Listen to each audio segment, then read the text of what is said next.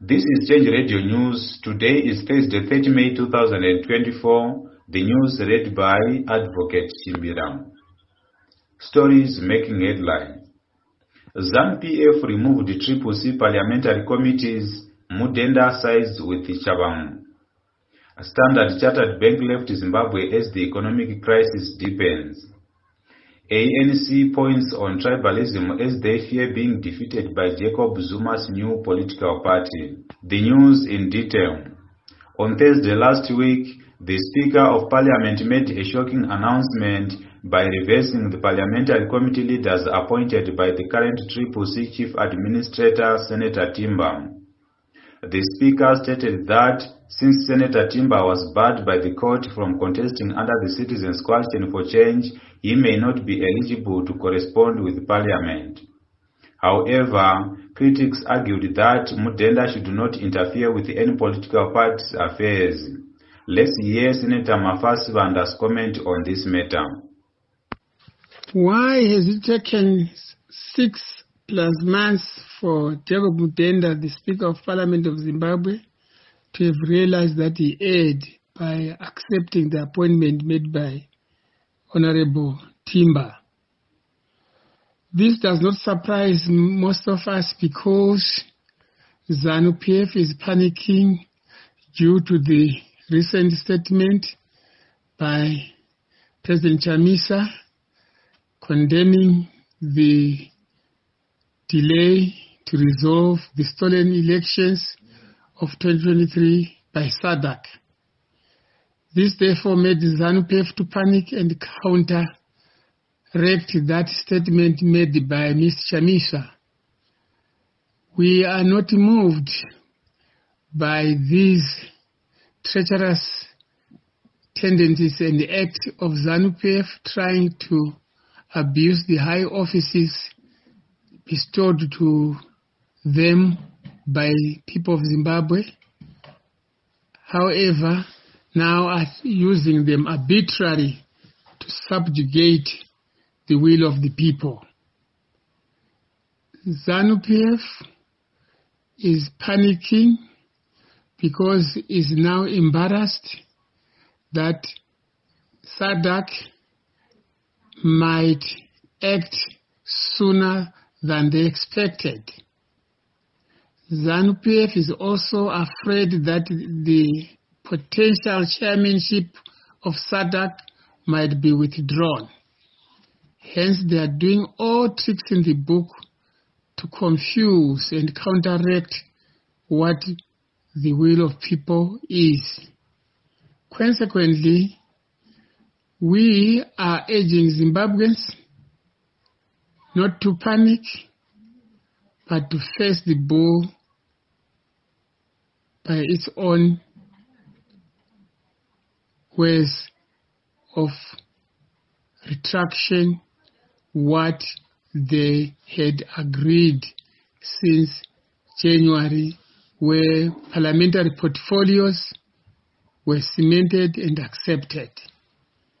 How could he retract a legitimate appointment? Being recalled doesn't really justify that you lose your post in a political formation. Mr. Timber became active during the period when President Chamisa was in charge. He was charged to adjudicate and process all legal formalities vis-a-vis the recalled members of parliament. We have evidence of this because up to the High Court, Mr. Timber was representing CCC then. What has made sudden change?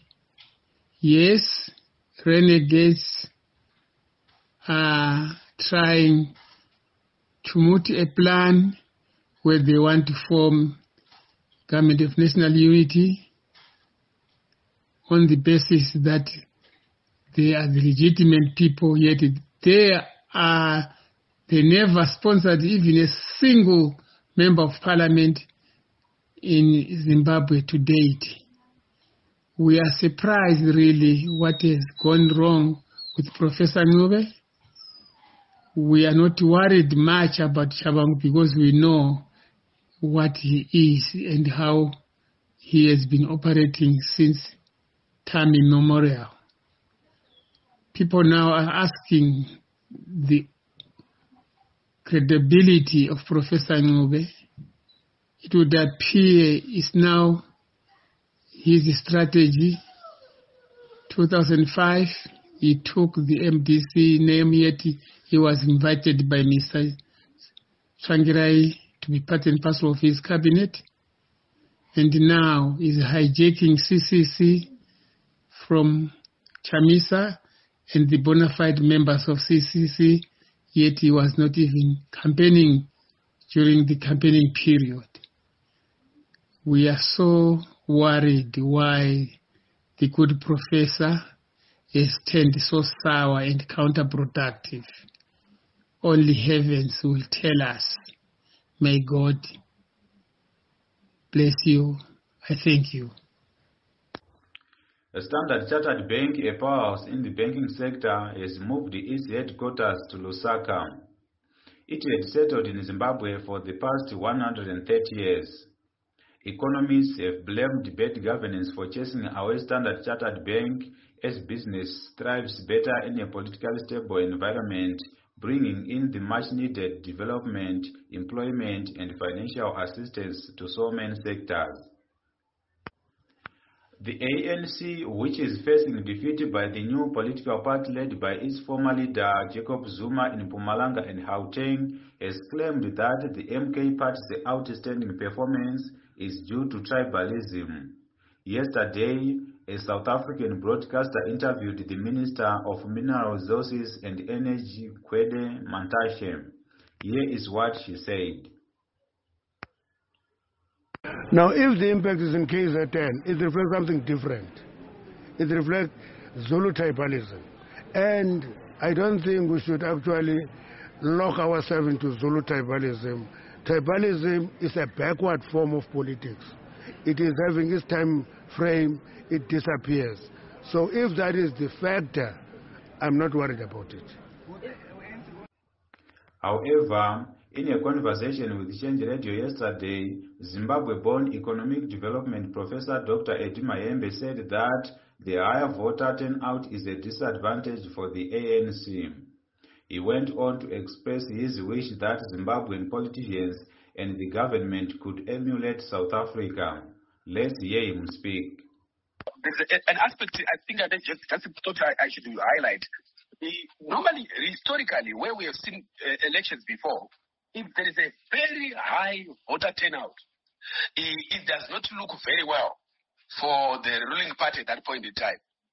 Uh, so I suspect that uh, so the ANC is going to be hit hard based on what we have observed today.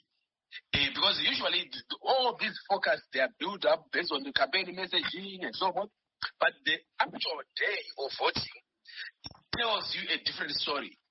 So I I think there was huge voter turnout, especially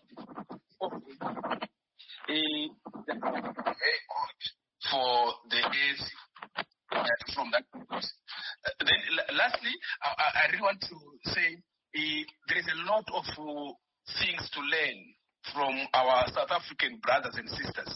Um, election is not a war. when the election is uh, put together, uh, announced, um, it's not, no one deserves to die because of power. We can still differ, EFF there, ANC there, DA there. We can still differ without killing each other. But most importantly, what is important is the will of the people. And I like what um, the, the, leaders of these parties have been uh, communicating. Some of them will say, yes, I know there is a challenge here, but if the people of South Africa believe that we are not ready, we'll go back and work again. So I think even uh, uh, President Ramaphosa was saying the same thing to say, we believe we are going to win, but we will accept the results. So it, it, it is my hope that the, uh, just across the Limpopo, we are able also able to appreciate that the one man, one vote is a thing. Democracy is a good thing. If people don't believe in your policies, allow them to uh, mark you down so that you can improve. Because that's how we develop. We develop by learning. And if you're a politician, you learn by results. So that's the, the, the basic feedback you get as a politician. When people don't vote for you, it means they're not happy. The ZANU-PF government plans to raise the minimum age for bus and combi drivers to 30 to reduce traffic accidents and fatalities primarily caused by reckless driving. They said this measure aims to ensure only mature, experienced drivers operate public service vehicles. With over 2,000 annual road traffic deaths, negligent driving is the primary cause. During a Senate questions and answers session, Transport Minister Felix Mhona mentioned that the ministry, in collaboration with the Attorney General, is working to synchronize the age limit for public service drivers. Previously set at 25 years, they now propose increasing it to 30. However, this new law is punitive as it restricts employment opportunities for young, unemployed drivers without addressing the root causes of reckless driving. Meanwhile, speaking to a local broadcaster today in Harare, Chiredzi Central Member of Parliament Honorable Pafadzo Makumire urged the removal of road and unworthy vehicles to prevent accidents and government losses. He calls on the Traffic Safety Council to make use of safety campaigns. Let's hear him speak. Statistics indicate that uh, on a daily basis we lose five people and annually the government is losing uh, an estimate of 406 million to road traffic accidents.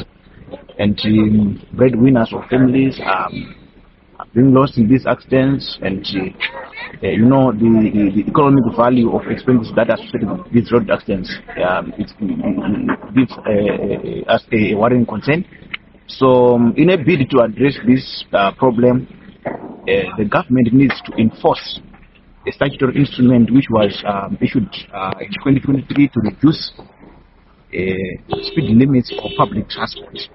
This will go a long way in addressing these uh, road traffic accidents because most of them they are they, they, they are related to overspeeding and that has to be enforced by the uh, ZRP. Additionally, um, unroadworthy vehicles must be banned implying all these routes because those are some of the vehicles that are causing these accidents. Number three, the, the, the, the Traffic Safety Council of Zimbabwe must continue with awareness campaigns to educate motorists on on, on, on, on, on safe driving and uh, the importance of life on the road. Um, additionally, I am of the view that those who are not qualified to drive those who do not have experience to drive public transport must not be allowed to be on their roads. And this, again, is an issue to do with enforcement of road traffic and safety uh, regulations. Thank you very much. Residents of Beitbridge have been cut off water by Zimbabwe National Water Agency because of the debt they owe it, of which they have been paying ZIG 20,000 per week, but Zinwa felt it was too little. This was said by Beitbridge Town Clerk Laudi Ramak Gapolam. Analysts have been saying right to life needs also to be respected as they are getting payment of the debt partly. A feared CIO operative Gilbert Mere died in a car accident yesterday morning between Pandawana and Chivu while driving from Harare. Mere is known for terrorizing opposition supporters and leaders in Gutum. His recent action was when he notoriously stormed Chatsworth Clinic on November 8, 2023 and assaulted Triple C activist Patrick Chimbare before forcing police to handcuff Chimbare in the clinic. Despite a police report filed against Mary and Martin Nikearamba, Gutu police have not acted. Former Member of Parliament for Mount Pleasant and human rights activist Fazai Mahere has posed several questions while comparing the old Zimbabwe and the new Zimbabwe under Emerson Mnangagwa. She highlighted that the country used to hold international conferences without the need for innovations and road resurfacing as is being witnessed today. She wrote this on her blog today, describing what the ZANU-PF government is doing as mediocrity and stating that the country has been reduced to junking. As the cholera crisis continues to spread across Zimbabwe, we at Change Radio encourage citizens to wash their hands with soap and running water, not to eat half-cooked meals, not to buy vegetables and fruits from street vendors, to always boil water before drinking and maintain good hygiene always.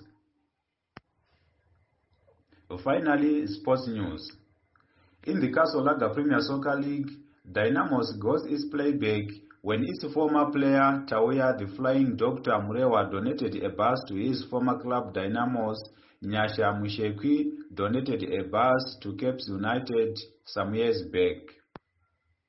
In the same vein, 200 football fans from Zimbabwe want to go and watch their country team, the Warriors, play with Lesotho in the World Cup qualifier match and the COSAFA Men's Tournament at Orlando Stadium on June 7, 2024, and Bafana Bafana at Free State Stadium on June 11, 2024 in South Africa.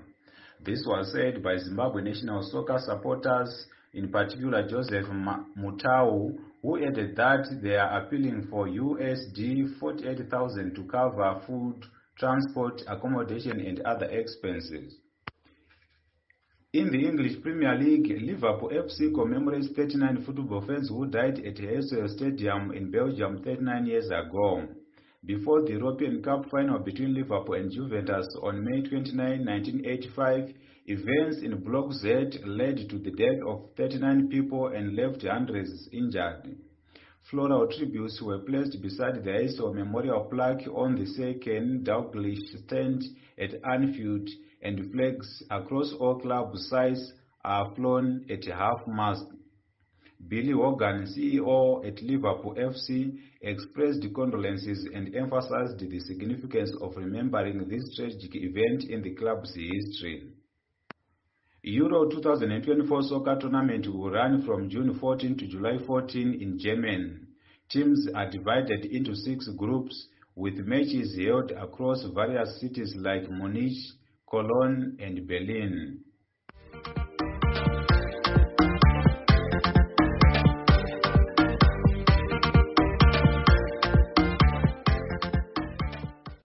To end the bulletins, here are the headlines once more. ZANU-PF removed Triple C parliamentary committees, Mudenda sides with Chabang. Standard Chartered Bank left Zimbabwe as the economic crisis deepens. ANC points on tribalism as they fear being defeated by Jacob Zuma's new political party. Have a good evening.